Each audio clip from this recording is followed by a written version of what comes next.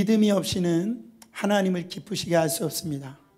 하나님을 기쁘시게 하기 위해서는 믿음만이 하나님을 기쁘시게 할 수 있어요.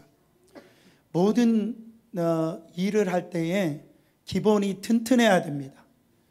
우리의 아, 신자의 삶에 있어서 기본은 뭐냐면 믿음입니다. 그래서 예수님이 뭐라고 말씀하시냐면 너가 믿음에 서 있는가 항상 점검해 보라 그랬어요. 내가 지금 믿음이 제대로 서 있는지 시험해 보라 그랬습니다. 하나님은 우리에게 이 믿음을 선물로 주셨어요. 그래서 하나님께서는 이 믿음의 보화를 가지고 이 땅에 살아갈 때에 능력 있게 아, 신앙생활 하도록 이 믿음을 선물로 주셨음을 믿으시길 바랍니다. 그런데 우리가요, 돈이 아무나 이렇게 보면 돈이 싫어하는 사람 없잖아요. 돈이 좋다라고 그래가지고 그 돈을 바로 벽에 붙여놓고선 그거를 감상만 하고 있다고 한다면 그 참 지혜롭지 못하죠. 이 믿음이 중요한데 이 믿음을 이라고 하는 것은 꼭 이 수표와 같아서 거기에서 사인만 하고 그를 사용하기만 하면 정말로 그 안에서 그 놀라운 일들이 일어나는데요. 그것을 사용하지 아니하고 그것을 이 땅에 묻어놓고 있다고 한다면 그것처럼 어리석은 일이 없다라는 거예요. 제가 수요일 날 새벽 예배를 드리고 기도하는데 하나님이 느닷없이 요즘에 참 말씀을 주시는데 박 목사야, 너 나를 믿니? 이렇게 물어보시는 거예요. 너 나를 믿니? 제가 뭔가 한 대 얻어맞은 그 느낌을 받았어요. 여러분, 다 하나님을 믿으실 줄 압니다. 할렐루야. 그런데 어떤 하나님을 믿고 있냐라는 거예요. 너는 정말 하나님을 믿는다라고 하는데 사람이요, 믿음이 다 달라요. 하나님 앞에 나오는데 어떤 하나님을 믿는지에 따라서 이게 삶의 결과가 다 다릅니다. 정말 천지 만물을 창조하시고 무에서 유를 만드시고요. 지금도 살아계신 그 하나님을 믿고 있느냐? 아니면 그 믿음이 여전히 힘이 없고 아무런 역사를 일으키지 아니하는 그 하나님을 믿고 있느냐에 따라서 우리의 삶의 태도가 달라진다라는 거죠. 저에게 박 목사야, 너 어떤 하나님을 믿고 있니? 너 나를 믿고 있니? 이 질문을 저에게 주셨다라는. 우리가 믿는 하나님이 크고 위대한 하나님이십니까? 여러분, 하나님의, 여러분의 하나님 너무 작은 하나님이 아니세요? 너무 힘이 없는 하나님이 아니세요? 너무 보잘 것 없는 하나님이 아니십니까? 우리를 바라볼 때 하나님의 관심은 어디 있느냐? 하나님의 관심 네가 얼마나 잘났느냐? 얼마나 돈이 많이 있느냐? 너가 얼마나 많은 권세를 갖고 있느냐? 거기에 관심이 있는 게 아니시고 우리 하나님은 너에게 믿음이 있느냐? 거기에 관심이 있다라는 너가 정말 믿음의 사람이냐? 여기에 관심이 있다라는 하나님은 바로 이 성경에서 보면은 우리 주님이 칭찬하시는데 믿음 좋은 사람을 정말 칭찬하신 걸 볼 수가 있어요. 예를 들어서 이 이방인 백부장입니다. 백부장이 주님 앞에 나온 거예요. 자신의 문제를 가지고 주님 앞에 나온 것이 아니라 바로 자기가 거느리고 있는 수와 종이거든요. 종의 병을 가지고 예수님 앞에 나온 거예요. 예수님이 그 모습을 보고 너무 기특한 거예요. 그래서 자기 수화를 고쳐달라고 하는 이 백부장 앞에 그래 내가 가서 고쳐줄게 이렇게 얘기를 합니다. 그때 이 백부장이 하는 말 들어보세요. 주님 오실 필요 없습니다. 나도 내 수화를 거느리고 있는데 그 수화가 내가 가라고 하면 가고 하지 말라고 하면 하지를 않습니다. 주님 오실 필요가 없습니다. 말씀만 하시옵소서. 그러면 내 종이 병이 나을 것입니다. 아, 예수님이 그 이야기를 듣고요, 감동을 먹으신 거예요. 그래서 뭐라고 말씀하시냐면, 네 믿음이 크도다. 그랬어요. 여기서 크다라고 하는 표현은 뭐라고 이 성경에서 얘기하냐면 이건 아주 메가톤급이다 이런 말이에요. 성경에서 원어적으로 보면 너 믿음 메가톤급 믿음이다. 예수님이 칭찬하시는 걸 볼 수가 있습니다. 근데 성경에서는 그 고백을 할 때에 그 하인이 즉시 나왔더라. 여러분 보세요. 마태복음 15장에 보면은 가나안의 이 스로 보니게 여인이 예수님 앞에 나옵니다. 무슨 문제로 예수님 앞에 나오냐면 자기 딸이 흉악한 귀신에 들려가지고 그 가정이 살 수가 없는 거예요. 엉망진창이 된 거예요. 그래가지고 예수님 앞에 나와서 내 딸을 고쳐달라고 그렇게 나옵니다. 그랬더니 예수님이 그 여인을 밀치는 거예요. 시험하시는 거죠. 나는 너를 위해서 오지 않았다. 난 너와 같은 이방인들을 위해서 온 게 아니고 나는 이스라엘을 위해서 내가 왔다. 이 말은 뭐예요? 나도 내 딸 병 고쳐줄 수 없어. 그렇게 예수님이요. 나는 네 딸 안 고쳐줄 거야. 나는 이스라엘 백성을 위해서 고치러 왔지. 이방인 너를 위해서 고치러 온 자가 아니야. 얼마나 무시합니까? 사랑하는 성도 여러분, 한번 생각해 보세요. 아유, 목사님, 제가 이렇게 병이 걸려가지고, 우리 딸이 병이 걸려 목사님 한번 안수해 주세요. 그러면 좋겠습니다. 그때 목, 이제 저 같은 목사가 이렇게, 아, 성도님, 나 성도님을 위해서, 성도님의 집사님, 딸을 위해서, 자식을 위해서 기도 못 합니다. 나는 저 장로님 아들만, 그 자식만을 위해서 기도 어, 할 겁니다. 이렇게 얘기했다고 생각해 보세요. 아마 다 시험 받으시고 교회 다 떠날 겁니다. 근데 이 스로보니게 여인이요, 태도를 보세요. 맞습니다. 당신 말이 맞습니다. 나는 개와 같은 사람입니다. 정말 이스라엘 사람들이 볼 때 이방인 개와 같은 사람입니다. 그러나 그건 맞는데 저, 그렇지만 나 근거 바라보지 않습니다. 그 주인의 상을 내가 탐내지 않습니다. 그러나 그 개들도 주인의 상에 떨어지는 그 부스러기는 그 먹습니다. 나는 다른 거 주인의 그 상에서 그 음식 안 먹어도 됩니다. 유대인들 다 고치세요. 유대인들 다 먹이세요. 그러나 거기서 떨어지는 그 부스러기 은혜만으로 나는 충분합니다. 나는 그 부스러기 은혜만 있으면 됩니다. 그 이 고백을 듣는데 예수님이 감동을 얻은 거예요. 그러면서 뭐라고 말씀하세요? 이스라엘 중에 이 여인과 같은 믿음 있는 자를 볼 수 없었다라. 네 믿음이 크도다. 메가톤급 믿음이라는 거예요. 예수님이 그 이야기를 들고 여자야 내 믿음이 크도다. 내 믿음대로 될지어다. 그 믿음대로요. 그 흉악한 귀신에 들렸던 아이가 고침받은 걸 볼 수가 있어요. 여러분, 근데 놀라운 거는 이 여인은 예수님을 그때 처음 본 거예요. 처음 봤어요. 처음 본 그 주님 앞에 이 가난 여인은요, 예수님이 무슨 말씀하셔도 바로 나는 실망하지 않고 내 믿음은 요동하지 않고 바로 흔들리지 않았어요. 왜요? 간절했기 때문에 그래요.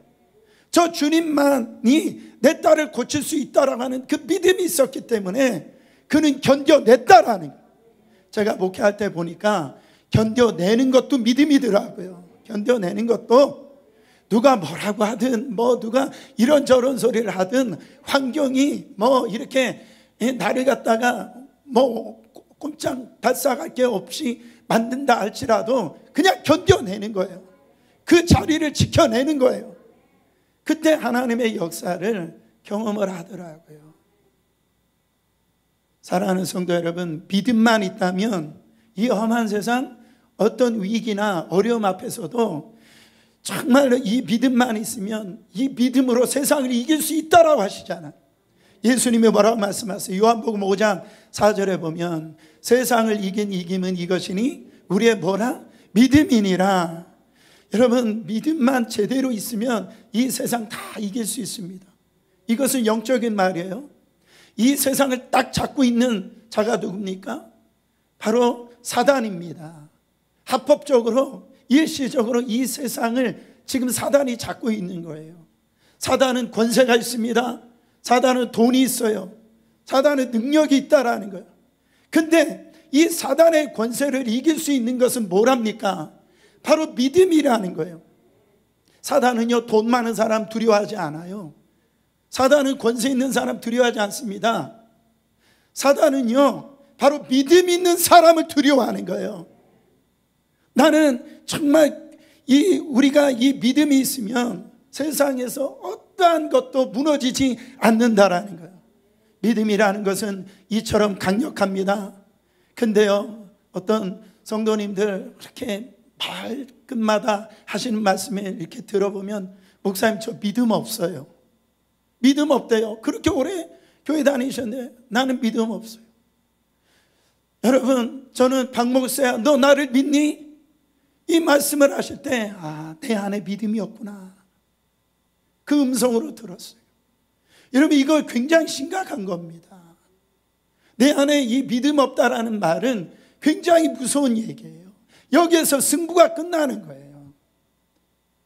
사랑하는 성도 여러분, 오늘 이 믿음 점검해 보시길 바랍니다. 이 믿음이 있으면 고난 이긴다니까요. 병을 이긴다니까요. 바로 이 믿음이 이 불가능을 가능케 한다라는 거죠. 그래서 주님은 뭐라고 말씀하십니까? 두려워하지 말고 바로 믿기만 하라는 거예요. 다른 것 신경 쓸 거 없고 너 믿음 한번 점검해 보라는 거예요. 그 믿음만 제대로 서 있으면 모든 일을 다 이길 수 있다라는 거죠. 이 믿음의 보안은 어떤 사람에게만 있는 게 아닙니다. 누구든지 다 이 보안은 열려 있다라는 거죠. 그 예수님이 뭐라고 말씀하십니까? 요한복음 19장 12절에 보면 내가 진실로 진실로 너에게 이르노니 너희가 나를 믿으면 나의 하는 일을 할 것이요 나보다 더 큰 일도 할 것이다.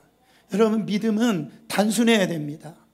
아 이런 말씀을 들을 때 아니 목사님 제가 어떻게 예수님보다 더 큰 일을 합니까? 그 얘기가 믿음이 없다라는 얘기예요.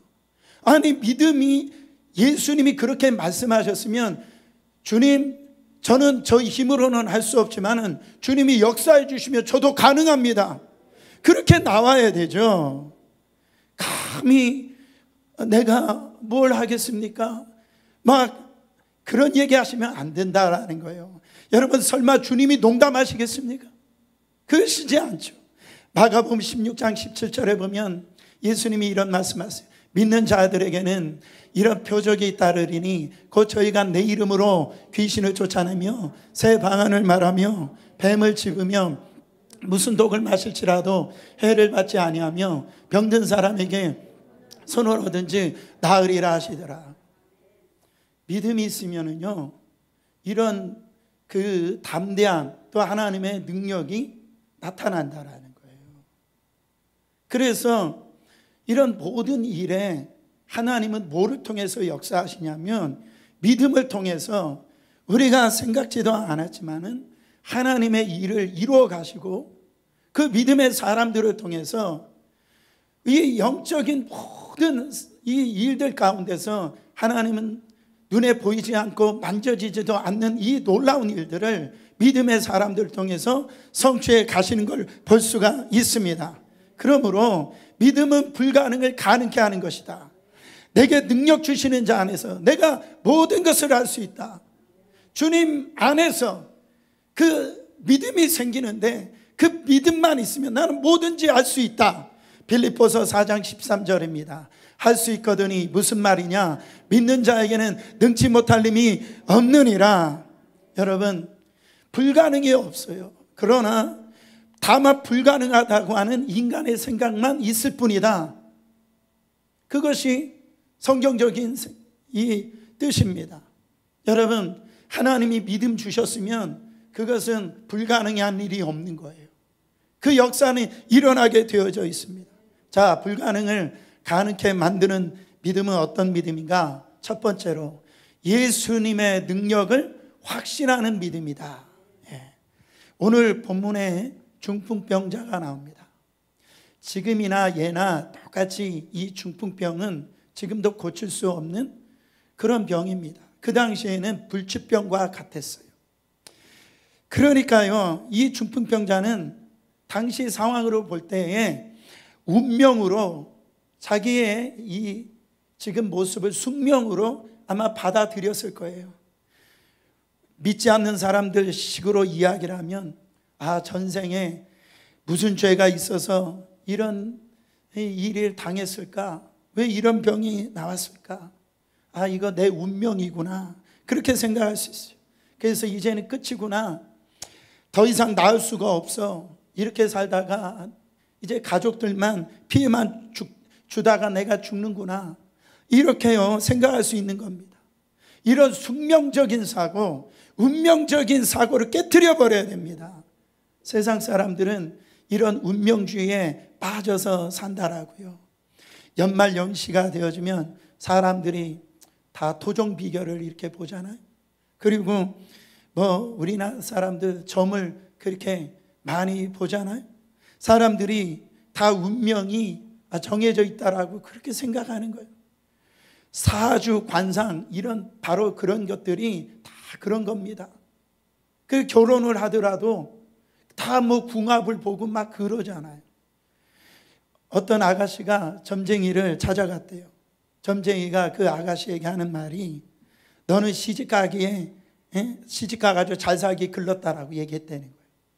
그래가지고 이 아가씨가 좋은 일이 생겨도 아 언젠가는 틀려질 거야. 에? 잠시 잘 되는 것 뿐이야. 항상 그렇게 생각하겠다. 그러다 잘 풀리지 않는 그런 일이 생기면은 아이고 그 점쟁이 말이 맞아. 내가 이렇게 에, 나는 틀렸어. 그래가지고 그 결국에 그 아가씨가 폐인이 되었다라고 하는 이야기가 있습니다. 이런 어떤 사고는요, 불행해질 수밖에 없는 거예요. 모든 것을 다 운명 탓으로 돌리는 거예요.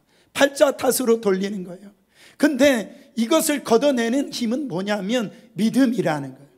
믿음이 있을 때 이런 운명적인 사고를 걷어내버린다라는 거죠. 이 사람이 오늘 나오는 이 중풍병자가 어떻게 운명적인 그런 사고에서 해방이 됩니까? 이런 절망적인 상황 가운데서 어떤 일이 일어나요? 한 소문이 그에게 들려옵니다. 예수의 소문이 들려오는 거예요. 오늘 읽었던 말씀이 마가복음 2장인데요. 마가복음 1장에 가보면은 예수님이 안식일 날 회당에 들어가 가지고 귀신 들린 자를 자유케 합니다. 그리고 또 베드로의 장모의 그 열병을 고쳐줘요. 특별히 거기에 그 성경에는 문둥병자라고 그랬는데 오늘 나오는 이 한센병자를 바로 고침받는 걸 볼 수가 있어요.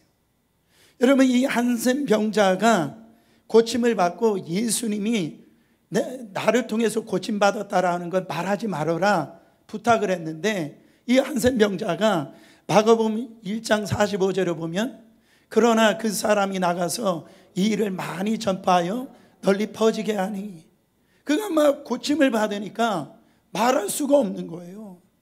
내 병을 고쳐준 사람은 나 이 한센병 문둥병을 고쳐준 자가 바로 저 예수다라고 막 전파해서 이것이 널리 널리 퍼져가 된 겁니다. 그 소문을 지금 바로 이 중풍병자에게 들려진 거예요. 여러분, 이 중풍병자는 육신의 사지는 다 마비되었지만은 이 들을 귀가 열려 있는 거예요. 바로 하나님의 은혜의 문이 열려 있는 겁니다. 말씀 들을 귀가 열려 있는 거예요. 들을 귀가 열려 있는 것이 너무너무 중요합니다. 이 말씀을 들을 귀가 열려 있는 거예요. 이, 이 중풍병자가 어떤 생각을 갖습니까? 예수는 앞에 나가면 어떤 죄를 지어도 나는 용서받을 수 있어. 그 주님 앞에 나가면 무슨 문제라도 나는 해결받을 수 있어. 저 주님 앞에 나가면 나는 행복해질 수 있어. 우리 가정도 행복해질 수 있어. 내 병 고칠 수 있어. 이 생각이 정말 가지게 된 겁니다. 여러분, 정말 복잡하게 생각할 것 없어요. 이것저것 따질 거 없어요.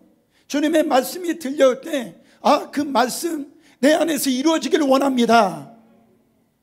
이 운명적인 사고 방식을 탈피해버리고, 그래, 맞아. 예수님 앞에 나가면 능치 못할 힘이 없으셔. 또한 이 중풍병자 이 친구들이 가지고 있는 믿음도 마찬가지입니다. 여러분, 이 중풍병자 이 친구들이 그런 장애물이 뚫고 예수님 앞에 이 중풍병진 이 친구를 데려갈 수 있었던 것은 마찬가지로 예수 앞에 가면은 내 친구의 이 문제가 바로 해결되어지고 저 주님은 능력이 많으시기 때문에 이 중풍에 걸린 내 친구를 고칠 수 있다라고 이 네 명이 믿은 거예요. 한마디로 예수님을 절대적으로 신뢰한 겁니다. 예수 앞에 가면 해결 받는다. 예수 앞에 가면 고침 받는다. 마태복음 9장에 가보면은요. 예수님께서 여리고성에 가실 때 그 두 소경된 자가 예수님 앞에 나와서 소리를 지릅니다. 주님, 다윗의 자손이여, 우리를 불쌍히 여기소서. 예수님이 묻습니다. 네가 내게 무엇을 해주길 원하느냐? 다윗의 자손 예수여, 내가 보기를 원하나이다. 그때 예수님이 질문을 하세요. 내가 능히 이 일을 너에게 할 줄을 믿느냐? 그때 이들이 얘기합니다. 주여 그려옵나이다. 주님은 능히 이 내 눈을 뜨게 해줄 줄 믿습니다. 보세요. 예수님이 그때 너희 믿음대로 될지어다. 그럴 때 그 눈이 즉시 눈이 띄어지는 걸 볼 수가 있습니다. 사랑하는 성도 여러분, 주님은 오늘 똑같이 우리에게 질문을 하는 거예요. 물어보시는 거예요. 내가 능히 너에게 능히 이 일을 할 줄을 믿느냐? 여러분이 가지고 있는 그런 불가능한 일, 그 장애물에 내가 주님이 능히 이 일을 해결할 줄 믿느냐? 질문을 하고 계시는 거예요. 주님, 그러합니다. 주님은 능히 나에게, 우리 가정에게, 교회에게 역사하실 줄 믿습니다. 이것이 우리의 믿음의 고백이 되어야 된다라는 거예요. 두 번째로, 나를 믿음, 돕는 믿음의 동역자와 함께하는 믿음이 있을 때 이 불가능을 가능케 되어진다라는 거예요. 지금 이 중풍병자는 예수님을 만나면은 이제 살 수 있다라는 생각으로 바뀌었습니다. 그러나 문제가 있어요. 문제는 뭐예요? 이 중풍병자가 소문을 듣고 예수 앞에 나가라, 나갈지라도 자기 힘으로는 혼자 힘으로는 도저히 그 앞에 나갈 수가 없는 거예요. 소문을 들을 수는 있었지만 걸을 수가 없었던 겁니다. 그래서 자기 스스로 나갈 수가 없을 때에 보통의 사람들은 자신의 능력을 비관하면서 아, 나는 역시 바로 할 수 없는 존재구나. 나는 무능한 존재구나. 나는 어쩔 수 없어. 어머니, 아버님, 왜 나를 낳으셨나요? 막 그렇게 생각을 가져버리게 돼. 그것을 벗어 버리시기를 바랍니다. 내가 하지 못한다라고 거기에서 주저앉으면 안 되는 거예요. 하나님은요, 나를 사랑하시는 하나님께서는 그렇더라고요. 나를 도와줄 사람을 보내시더라. 어느 때는 정말로 하나님께서는 그런 환경을 만드시더라고요. 그래가지고 다시 일어날 수 있도록 하나님께서 역사하시는 걸 볼 수가 있어요. 그가 하나님 앞에 나갈 수 있도록 네 명의 믿음의 사람을 붙여주셨어요. 그 믿음의 사람은 그 중풍병자를 거추장스럽게 생각하는 사람이 아니었어요. 그 사람은 그 중풍병자에 가지고 있는 약점을 들춰내는 사람이 아니었어요. 있는 그대로 정말 그를 위로해주고 어떻게 하면 그를 살릴 수 있을까? 그 마음을 가지고 있었던 그런 사람이었어요. 무엇보다 그들은 믿음의 사람이었습니다. 예수님 앞에 나가면 너도 다시 일어날 수 있다라고 하는 그 믿음을 가지고 있었던 사람이라는 거예요. 다윗에게는요, 요나단이라고 하는 그런 믿음의 사람이 있었습니다. 그 두 사람은 믿음의 관계가 될 수 없었어요. 왜요?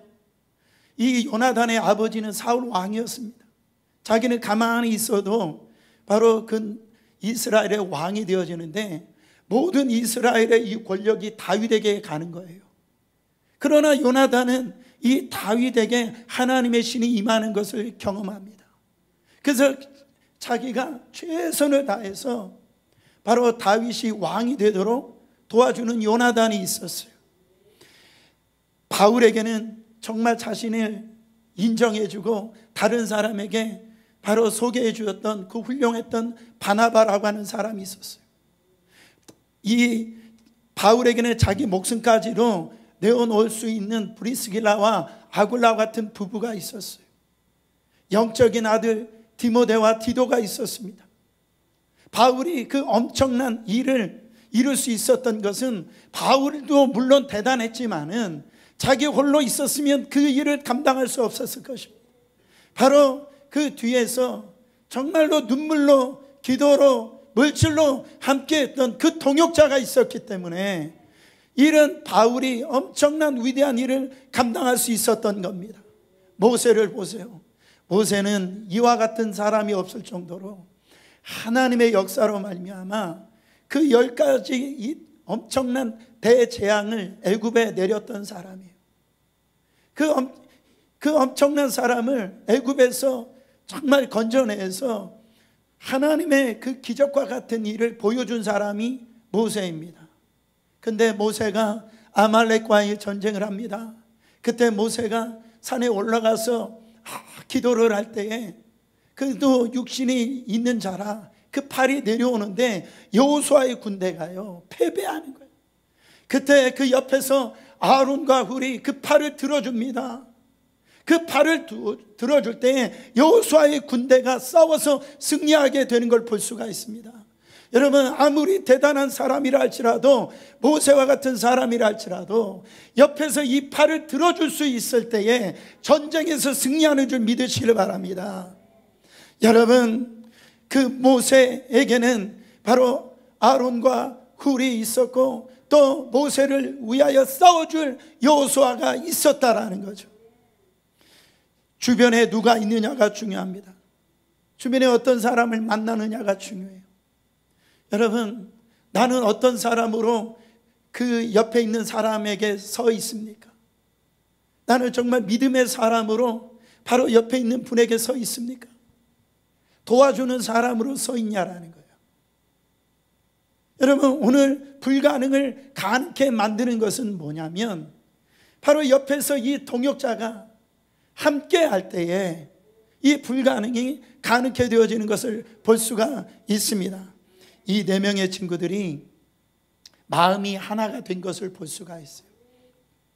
중풍병자를 살리는 일에 네 사람이요 끝까지 함께했다라는 것을 주목해야 됩니다. 언제까지 함께했다? 끝까지. 예. 끝까지 함께했어요. 보세요. 이 중풍병 들린 친구들이 이, 이 친구의 제자, 이 친구들이요, 이 중풍병자가 지금 누워 있었을 때에 그 들고 갈 때요, 서로 서로가 함께 하지 않으면 이 모든 것이 이 제대로 되어지지 않는데, 갔었을 때 여러분 한번 생각을 해보세요. 너무 사람들이 많아가지고 예수님 앞에 나갈 수가 없는 거예요.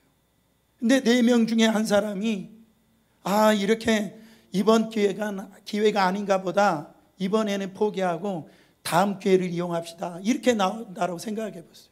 또 한 사람은 아, 흩어지, 다, 사람들이 다 흩어질 때까지 기다리고 있, 있읍시다. 이렇게 나온다고 생각해 보세요. 또 한 사람은 그냥 무슨 욕을 먹더라도 그냥 뚫고 지나갑시다.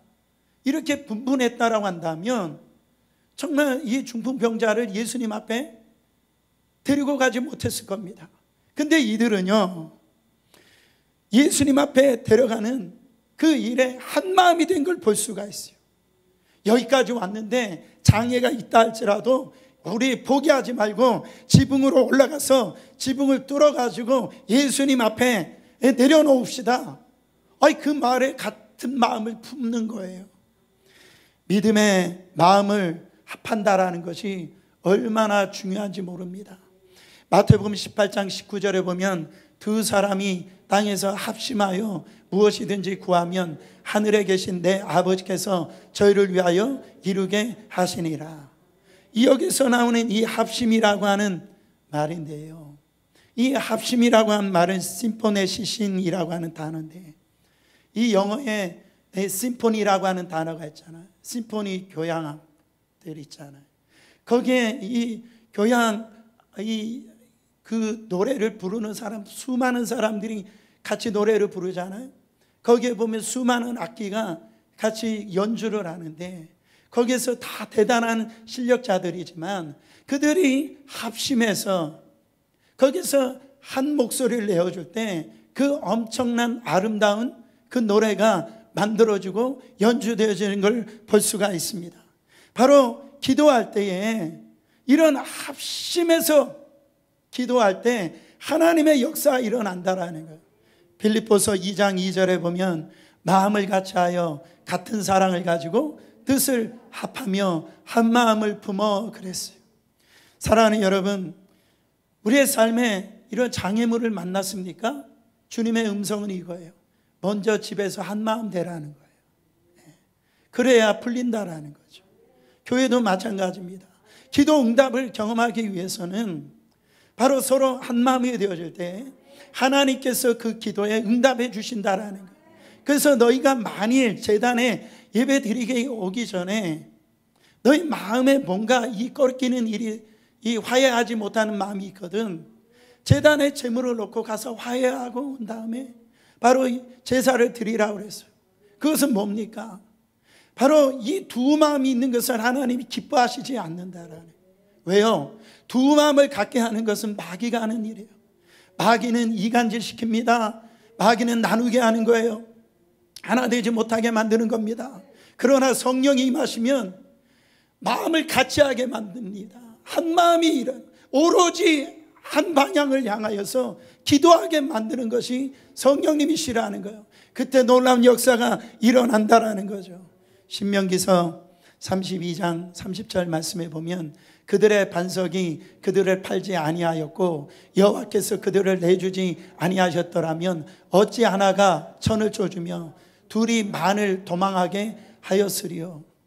여러분 한 사람이 천을 내어 쫓았다면 두 사람이면 이천을 내어 쫓아야 되죠. 근데 어떻게 만이 도망할 수가 있어요? 그건 뭐를 의미하죠? 우리가 이 전쟁에서 나가서 정말 싸우러 나갈 때에 그 이 두 사람이 합심해서 싸우면은 바로 천이 많이 되어지는 역사가 일어난다라는 이거를 시너지 효과라고 그래요. 그렇잖아요. 우리가 다 아시다시피 말이 이 수레를 끄는 그 힘을 마력이라고 그러는데 한 말이 끌 수 있는 그 수레의 짐의 이, 무, 이 무게가 2톤 정도라는 거죠. 그러면 두 말이 끓는다라고 생각하면 4톤을 끌어야 되는데 이두 말이 함께 끌면은요 20톤을 끌 수 있다라는.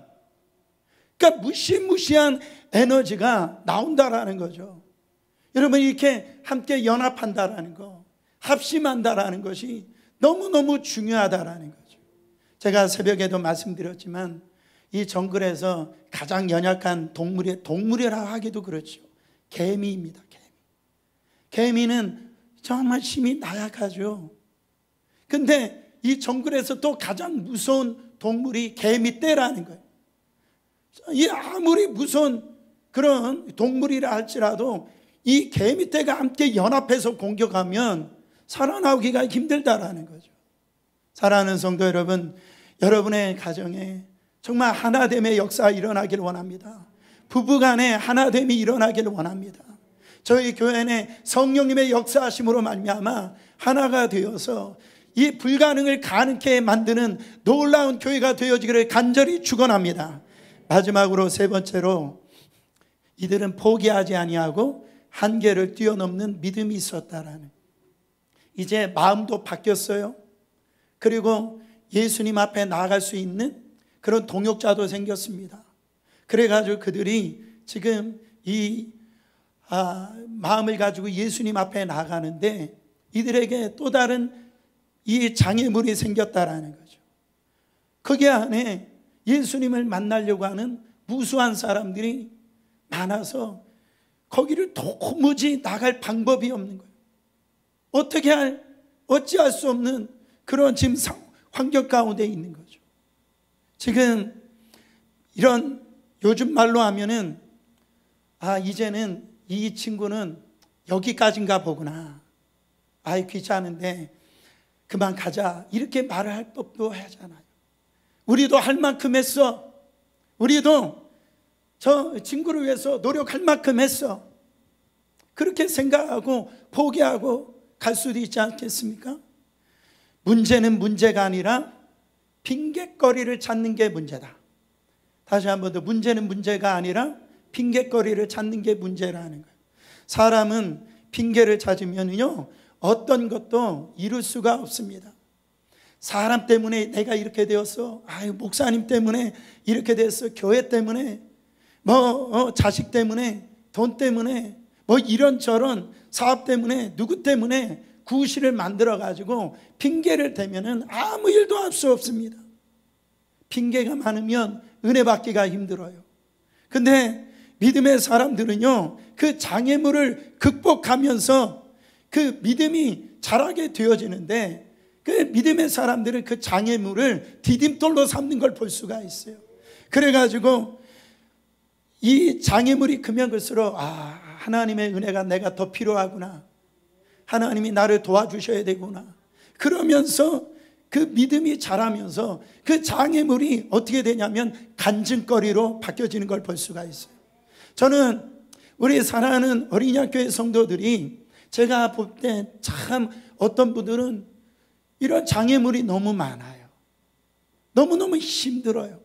그러나 제가 기도하기는 뭐냐면 하나님, 우리 사랑하는 성도님의 저 장애물이 간증이 되게 하여 주시옵소서.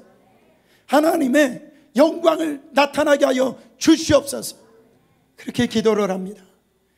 그러나 이 중풍병자와 또한 이 네 명의 친구들을 보세요. 절망하지 않습니다. 포기하지 않습니다. 그들은 지붕 위로 올라갑니다. 얼마나 거추장스러운 일이에요. 그리고 이 그 계단을 올라갈 때 얼마나 힘이 들겠어요. 그리고 이 팔레스타인 지역은 그 지붕이 이 집으로 흙으로 이겨해 가지고 이렇게 만든 집인데요. 그거를 뚜, 뚫는 거예요. 쉽지 않은 일입니다. 그러면 뚫었을 때 밑에는 집, 집이라든지 그 부스러기가 다 떨어질 거 아니겠어요? 자기 집이 아니잖아요. 그것도 예수님이 지금 말씀을 전하고 있잖아요. 예의가 아니잖아요. 그러나 지금은 평상시가 아닙니다. 위기 상황이라는 거예요. 이것저것 따질 길이 없다라는 거예요. 주님이 아니면 안 된다라는 거죠. 여러분 지금 어떤 그 여자가 지금 물에 빠져서 다 죽게 됐다라고 생각해 보세요. 그러면 그 머리 이 가락이라도 잡아 끄집어 내야 될 거 아니겠어요?